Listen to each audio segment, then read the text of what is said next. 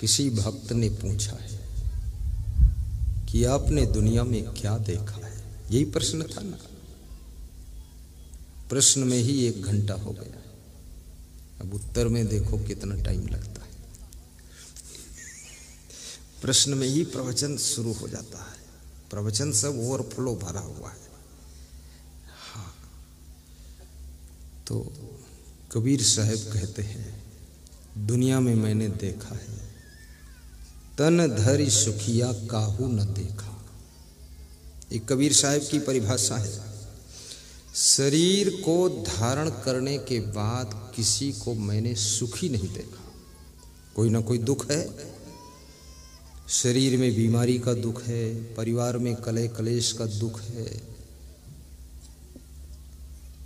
रिश्तेदारों की तरफ़ से दुख है, अधिकारी कर्मचारी की ओर से दुख है पड़ोसी की ओर से दुख है, चोर चंडाल की ओर से दुख है, बेईमानों की ओर से दुख है, भाई से दुख है, पत्नी से दुख है, पिता से दुख है, माँ से दुख है,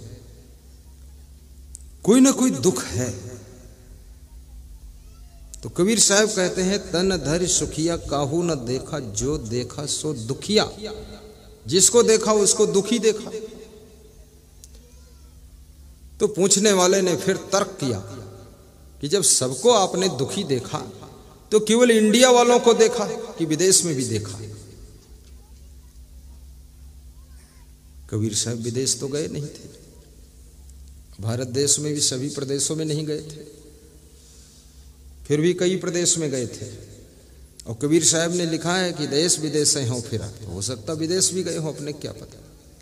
और लिखा है उन्होंने कि देश विदेश से हों फिरा। अब पता नहीं किस साधन से गए।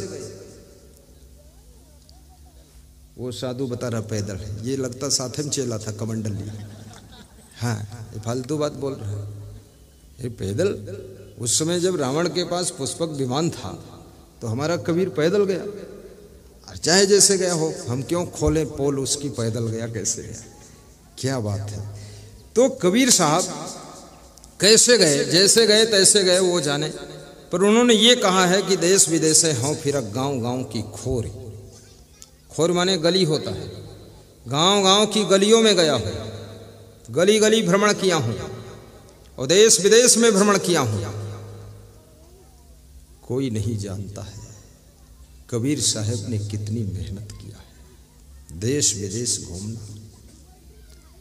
अभी वाहन से घूमो तो भी थकान आती ही, बताते हैं। उस युग में क्या डेवलप हुआ होगा पता नहीं खैर, बैलगाड़ी तो थी ही पहले से ही। लेकिन कबीर साहब कहते हैं, उदय अस्त की बात कहता हूँ, सबका किया विवेक।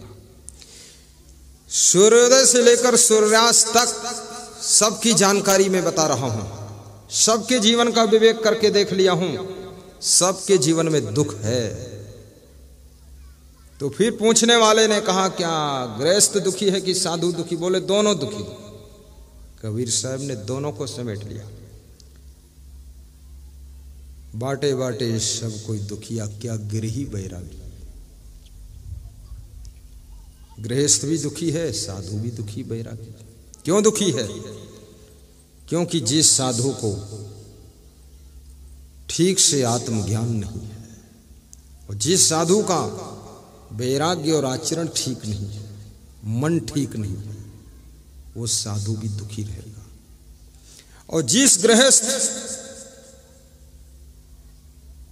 के अंदर नियम संयम नहीं है, विवेक नहीं है, संतोष नहीं है, सहनशीलता नहीं है, सदगुण सदाचार नहीं है, जिस गृहस्थ के पास भक्ति भावना नहीं है, धर्म मर्यादा नहीं है, वो गृहस्थ भी दुखी रहेगा। सब दुखी रहेंगे क्या गिरही बैरागी। जोगी जंगम ते अत दुखिया, तापस के दुख दूना। जो पहाड़ों में बैठकर तपस्या कर रहे हैं जंगलों में, उनके जीवन में तो दुगुना दुख है, वो बहुत ज़्यादा दुखी है।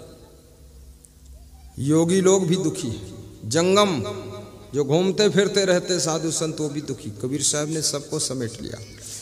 तो फिर पूछने वाले ने एक बड़ी बात पूछी, फिर सुखी कैसे हुआ जा सकता है? चलो साहेब, ये कबीर साहेब का सिद्धांत ढूंढो कि सुखी कैसे हुआ जा सकता है। सुखी। तो कबीर साहब ने बताया कि सदगुरु मिले बहुत सुख लहिए, सदगुरु शब्द सुधारे। कहें कबीर, ते सदा सुखी है, जे यह पद ही विचारे साहेब कहते हैं, अगर सदगुरु मिल जाए तो बहुत सुख मिल सकता है। और सदगुरु का मिलन वाह मिलन ना हो, आंतरिक मिलन होना चाहिए। अस्थूल मिलन ना हो, सूक्ष्म मिलन होना चाहिए। तन का मिलन केवल ना हो, मन का मिलन होना चाहिए। सदगुरु मिले, बहुत सुख लहिए। सदगुरु शब्द सुधारे। शब्द सुधारे के दो अर्थ हैं। कि सदगुरु अपने ज्ञान के शब्दों के द्वारा हमारी ज़िंदगी को सुधार देते हैं। और ज़िंदगी सुधरते ही सुख का जन्म हो जाता है। ज़िंदगी बिगड़ती है, दुख पैदा होता है। और ज़िंदगी सुधरती है तो सुख पैदा होता है। सदगुरु के ज्ञान के शब्द हमारे तन मन वचन का सुधार करते हैं, तब हमारे जीवन में सुख पैदा हो जाता है।